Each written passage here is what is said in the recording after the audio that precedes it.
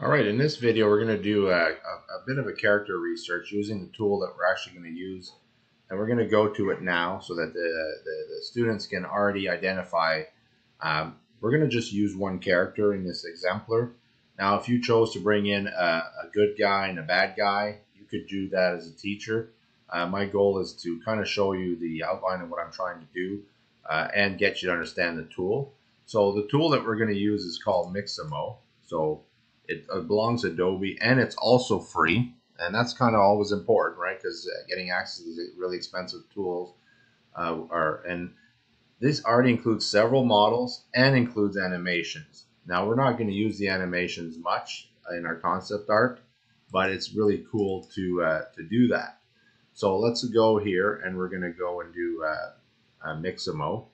Uh, and when you get there, log in and again, you should be able to use, in our case, in our school board, we are allowed to use Google accounts. So uh, we use that, and that's why I use this tool so students don't have to go and create an account.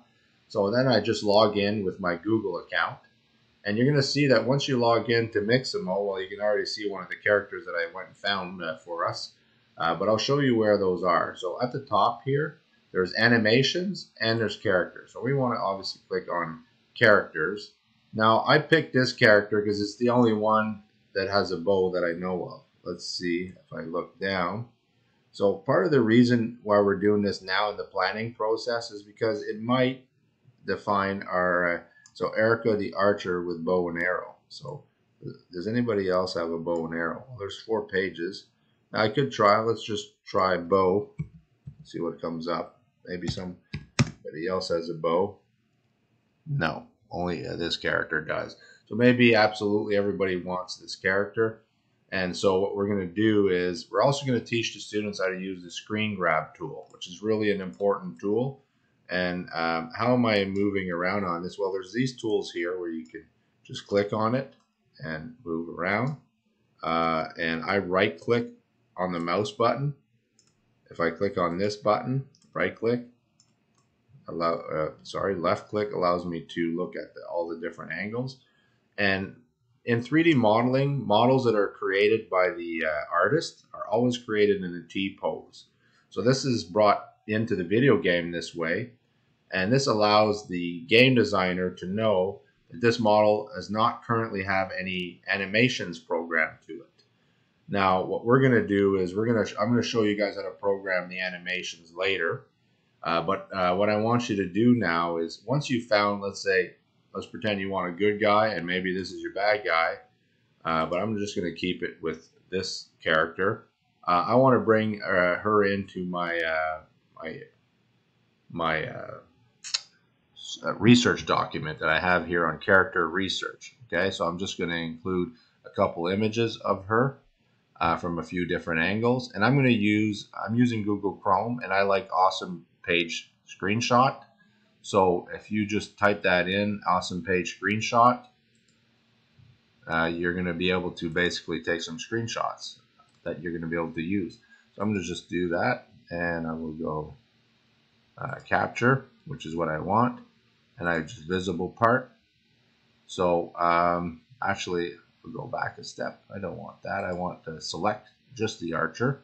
So if I go over here and I will capture, selected area, and all I want is this, okay?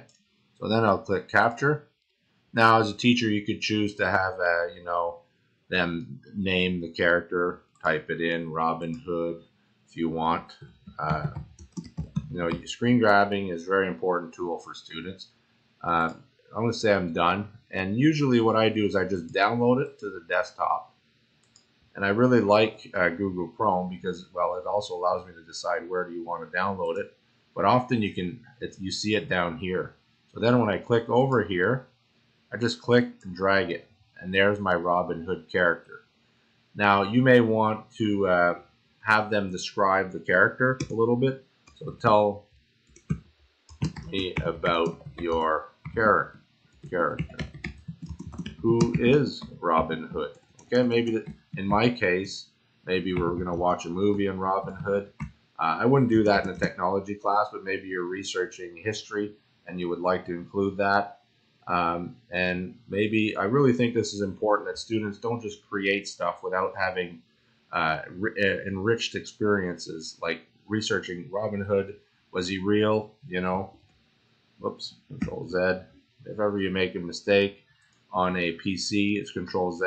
Uh, on a Mac, it's Command Z to go back. Who was Robin Hood? Was he real? Uh, you know, those type of rich questions. So the, the characters are, you know, are based on how will we change his story if you were doing more than just a concept art. Um, I'll leave that there. I think that's good enough. You get a pretty good sense of where we want to go. And as a teacher, you could easily customize uh, how you would like to continue adding this. Now, just so you know, we will go back, come back to Mixamo later. Okay, if you have any questions, please let me know.